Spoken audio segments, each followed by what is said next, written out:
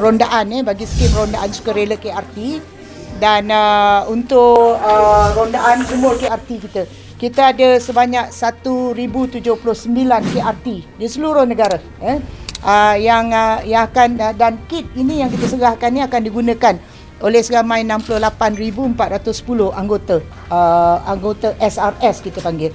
Dan uh, hari ini dalam kotak ni kita dapat lihat dia berat lebih daripada 15 kg ni. Dalam kotak ni kita ada hand sanitizer, kita ada mask, kita ada whistle, ya, kita ada uh, vest keselamatan tadi, kita ada topi SR SRS, kita ada cota kayu tadi tu. Ya, dan kita ada termometer, kita ada juga dalamnya lampu picit. So this ini adalah antara barang keperluan yang diperlukan eh sewaktu rondaan oleh uh, semua pasukan-pasukan SRS kita. Dan uh, saya harap ni lepas ni semua uh, pengarah-pengarah kita akan balik ke negeri-negeri. So jadi nanti bawa balik uh, semua uh, exco-exco perpaduan di peringkat negeri akan membuat penyerahan kepada SRS masing-masing di peringkat negeri.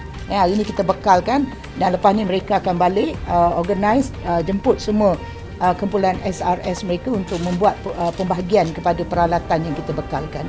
Okey, kita ada total KRT kita ada 8274. Tapi bukan semua kawasan KRT kita ni ada uh, skim rondaan sukarela ni eh.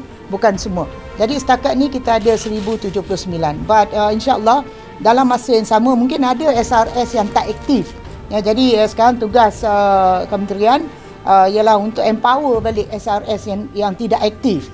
Ya, mungkin ada sebab kenapa mereka tidak aktif. Sama ada tidak ada keterlibatan uh, yang yang secara sukarela ya, nak terlibat dalam rondaan dalam rondaan ini ataupun mungkin ada ada yang lain-lain yang kita perlu lihat. Uh, jadi ini antara perkara yang akan kita lakukan.